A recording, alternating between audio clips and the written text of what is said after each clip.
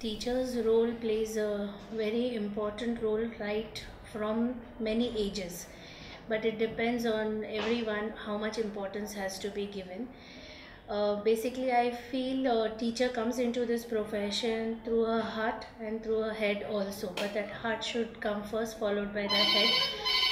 And uh, that will surely make a particular uh, difference because uh, if you are pushed into this profession only for money or with only head uh, it will it won't work with the students. It's not a machine that you measure something you frame a design and you get product one after the other. Every uh, particular sample which comes is different. We need to uh, relate to that particular child and give what he wants.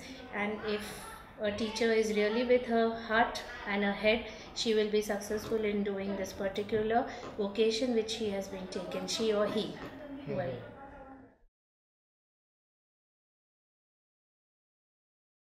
Logical and critical thinking is very important to bring about that particular thing from a child.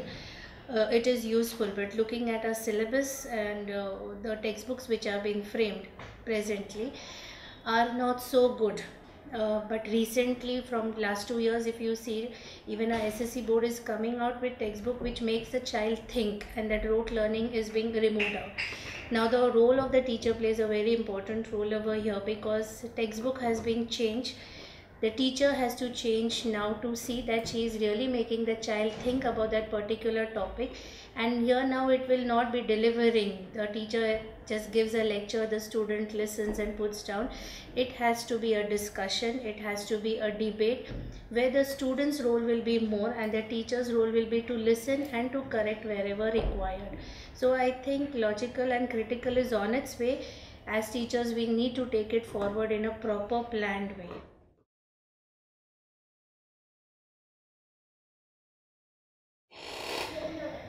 right now in this century we know what problem we are right facing that is climate change.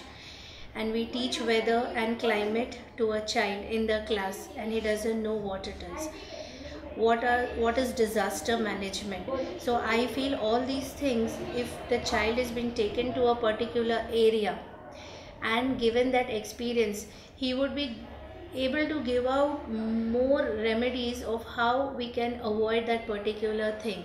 Because they have inborn knowledge. We, we shouldn't give our knowledge only to them. Their ideas should be heard of to be listened of. Maybe it can be challenging for us as elders and we might not like to take it. But uh, that should now start happening. It should be the reverse way and we need to give importance to what their thought their thinking process is on we need to take them out. It can be for maths it can be for science it can be for language. I don't think so subject can be a barrier. Any subject any topic if we try to take them out it is more uh, helpful for the child. He doesn't have to learn. It is an automatic process. So the burden of learning something deliberately goes off and he automatically imbibes in himself